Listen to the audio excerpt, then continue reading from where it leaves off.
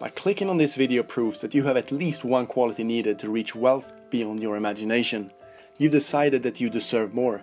That's a very important part of developing a wealthy mindset because it proves that you want to attain more knowledge, that you believe in improving yourself before demanding more money in your life. Now I'm gonna show you a few techniques you can use to adapt the mindset of the super wealthy and how you can increase your income to however much you desire. When you've decided to become rich and have the income that you desire, you've made a commitment. I'm not talking about dreams or fantasies, I'm talking about commitments and decisions that will allow you to take steps in the right direction. And this is very important. Decisions is the foundation to actions.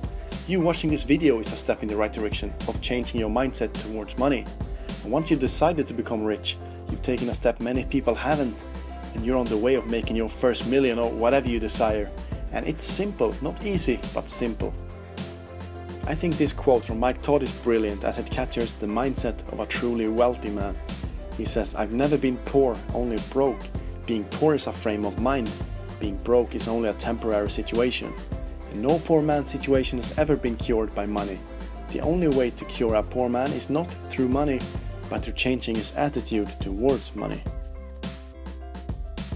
Some of you might say, This is ridiculous. To change the attitude will not make me any money. And this is the closed, poor man's mindset that will never grow wealthy, but would rather spend money on lottery tickets hoping to become a millionaire overnight. And even if they become a multimillionaire, the odds are heavily stacked against them to keep any of it over the course of 5 years. And this is because a poor mindset combined with heaps of money will bring financial disaster. They will match their expenses with their new income, however, the money was only given to the ones that will not come back again the next year Within only a few years, the money are consumed and nowhere to be seen, leaving them more depressed than before. So what separates a poor man's mindset from the wealthy? They don't really know what they want. If you don't know what you want, you will never receive it. Your questions are important because you will get what you ask for. Don't just ask for enough to survive and be well, because that's exactly what you will get, and that's also what most people ask for. F striving for normal when you can get so much more. Instead of asking for $2,000 to cover your expenses and get by every month, ask for more, much more. Ask for 200,000, and you will be on your way to find a method of receiving that. Let's move on. They avoid to take responsibility for their achievements or failures. They procrastinate, they don't invest in themselves, and they have a limited eager to learn and improve because they think they know everything already. Let's look at a wealthy man's mindset. They know what they want and set clear goals to get it. They take full responsibility for their achievements and failures without blaming anyone else. They get things done, the sooner the better. They always invest in themselves. It can be books, courses, seminars, because they know they will earn that money back many times. They never stop learning because they know they will never reach a limit. They have a growth mindset.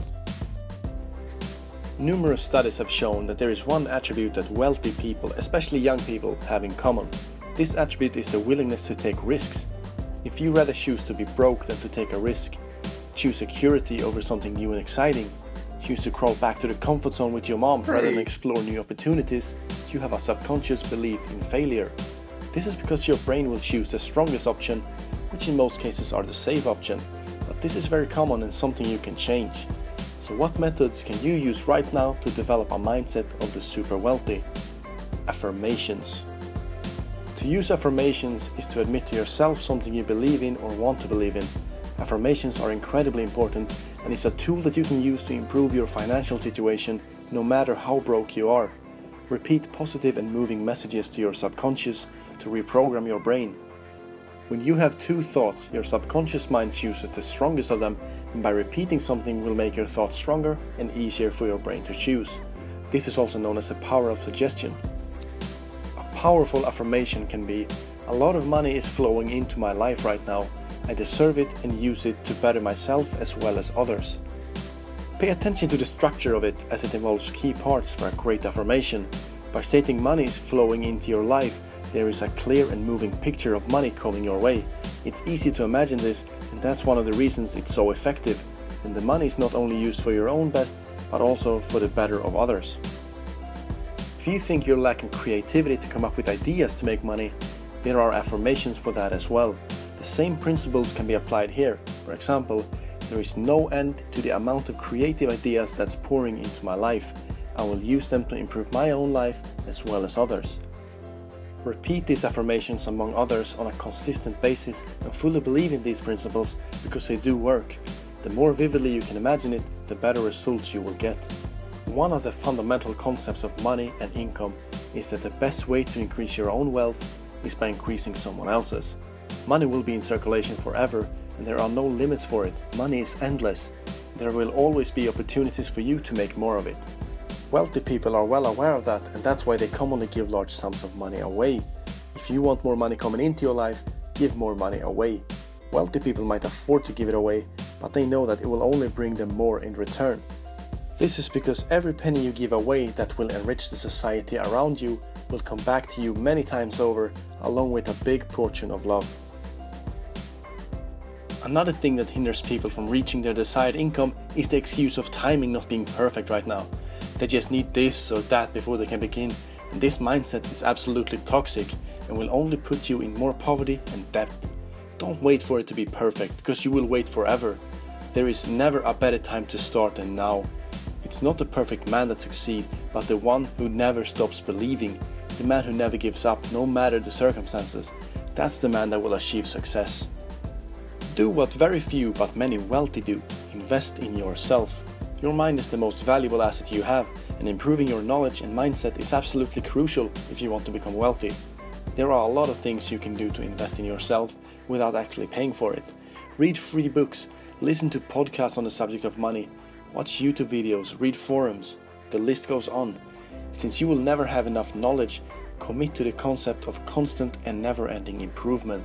Continue to strive for more and more knowledge. Knowledge. Don't ever think you have reached some limit because there are no limits. Limits are created by the poor minded that think they know it all and then blame society or their boss or anyone else but themselves that they don't earn more money. Use these principles and know that the best time to start adapting a wealthy mindset is right now. It doesn't matter if you barely have any money right now, that should rather be more exciting for you. The less you have to start with, the more impressive your story becomes. I want to end this video with a quote from Leandro Orr. He says, It takes as much imagination to create depth as to create income. Thank you for watching. If you enjoyed the video, make sure to subscribe to keep yourself primed. Hey man, are you gonna subscribe to Prime?